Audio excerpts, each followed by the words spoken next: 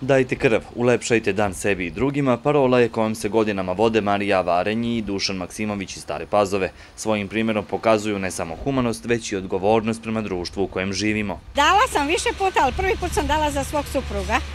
I kad sam dala za njega, onda počela sam stalno, redovno da dajem, kako da žene daju svakih četiri meseca.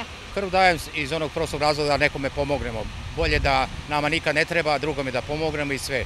Dajem godišnje jedno tri puta, do sad sam dao 93 puta krv i nisam imao nikakvih problema. 15. po redu akcija dobrovoljnog davanja krvi realizovana je na platovu ispred opštine Stara Pazova, zahvaljujući Staropazovačkom crvenom krstu i Institutu za transfuziju krvi Srbije.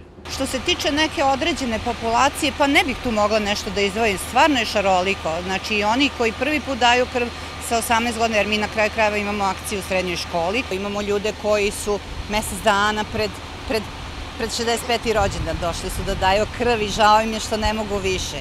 Oko nove godine i letnji meseci su nama, da kažem, najkritičniji što, što se tiče broja prikupljenih jedinica. Trenutno smo na nekim trodevnim rezervama. Ono što, kao i uvek, je mali problem u ovom trenutku, to su negativni, negativne krvne grupe, ali uspevamo, ponavljam, da nadoknadimo i da postignemo ono što, što je potrebno.